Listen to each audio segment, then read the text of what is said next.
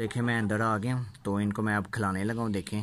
पहले रेडी हो गई गए ये। घर में ना, ये मुर्गियों के लिए फ़ीड बना सकते हैं आप। यार, सुबह का टाइम है तो इनको मैं खोलने लगा हूँ। तो देखना, माशाल्लाह माशाल्लाह, किस तरह बाहर आ रही है। देखो, आते ही मुर्गी ने उसको घेर लिया, और मुर्गे साहब और बाहर निकल गए हैं। चलो अंदर, चलो। यार, बाहर निकल गए हैं।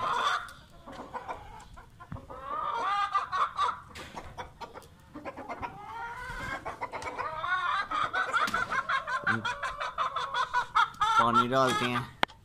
सुबह के रूटीन है। तो यार, मुर्गियाँ काफ़ी ज़्यादा बोल रही हैं तो इनको, इनका दाना वगैरह डालते हैं। तो आप देख सकते हैं यार, माशाल्लाह धूप आज काफ़ी ज़्यादा निकली है। तो मुर्गियाँ भी खुश हैं इंजॉय कर रही हैं।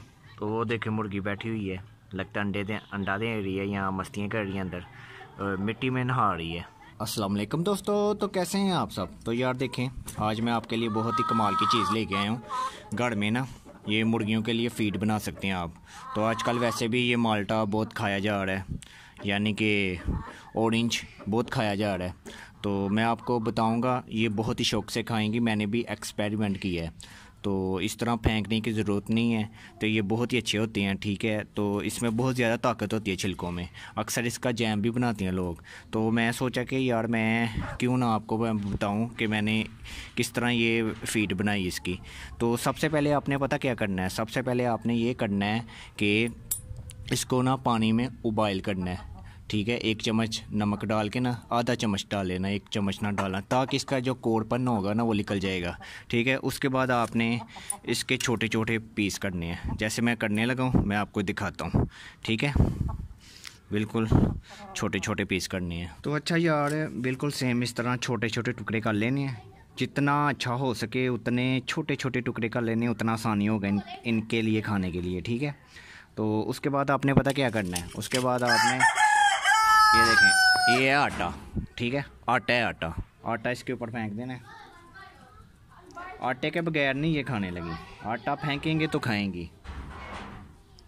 आटा, फिर उसके बाद हमने पता क्या करना है? उसके बाद हमने पानी डालना थोड़ा सा, ठीक है? ये देखें, आपके सामने पानी डाल दिए अब इसको मिक्स करना है। जितना आटा इसके ऊपर होगा, उतना अच्छा होगा। मुझे लगता है अभी कम है आटा। ठीक है तो और आटा डाल लेते हैं हम।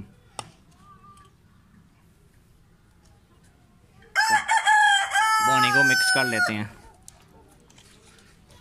तो आपके सामने मैं इनको खिलाऊँगा तो रिज़ल्ट चेक करूँगा। पहले इनको मैंने खिला के चेक कर लिया था एक्सपेरिमेंट किया था तो इन्होंने बहुत शौक से खाया था।